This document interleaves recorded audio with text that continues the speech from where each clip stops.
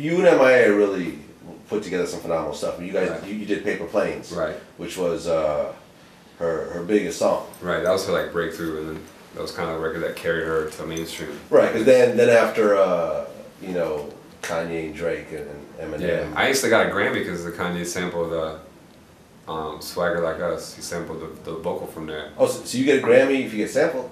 Um, cause I wrote the, some, I wrote some of the lyrics on the record, so I was like sort of like Oh. a writer on that record. Oh, so the hook. Yeah, so Oh, I- like I that, that's something because I was a, I was a, I was a writer on the record, so that won best rap award. I got, I get, I, it's not really a Grammy, you get like a little medal when you're like one of the loser dudes that like has a writing credit on a Grammy record.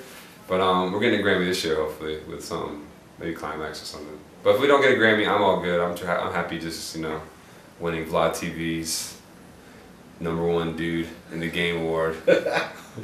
You and uh, you and MIA were were dating at one point. yeah, we dated for quite a while.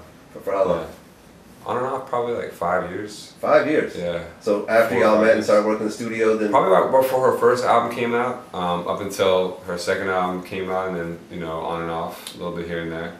But um, it was a real, you know, it was a lot of on and off. Like probably in those five years, I don't know how much time was together, but we, we had a real good chemistry, like you know, in the studio and, and away from it because half of her music is in the studio and half of it is uh, like in the world and like in the, in the art, in the creative side, and in the, in the in the attitude and stuff like that. So we got along really well making mixtapes and making videos and making ideas together. So. what what uh finally broke you guys apart?